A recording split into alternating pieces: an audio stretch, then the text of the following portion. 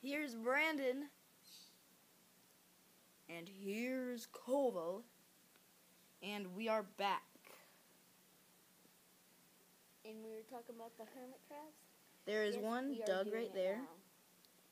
There's one. See that little one right Let me point it. there, that little shell right next to that empty shell. That's one. He likes digging. And then I also have another one that he's like he hides. I also have another one that hides a lot. So it might take a while for me to find him. Ah, here we go. See him right there.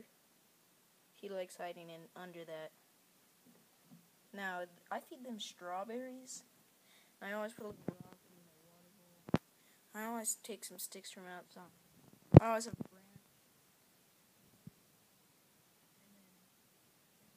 And then just to make it good. And there has to be shells, and I have some. That. And then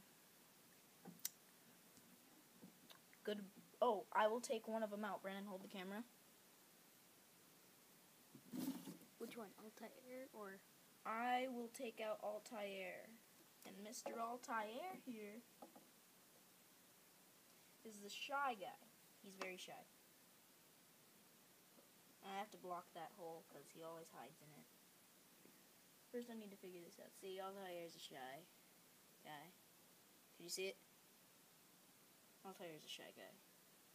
He just stays inside of the shell, pretty much. Now, I also have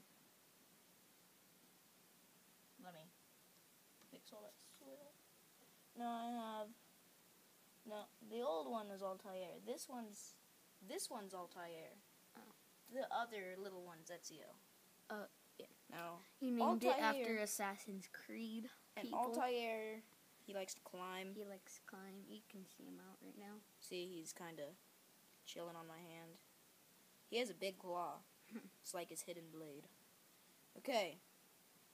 He's very active. He's like the complete opposite of my other hermit crab. And he's way older. Okay. I'm going to put this guy in the water. And I'm going to put Ezio in the water too. Brandon, stop the video. We're out.